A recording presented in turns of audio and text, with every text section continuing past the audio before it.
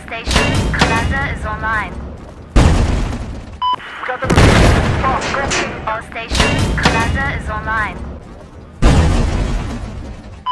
We got the bomb.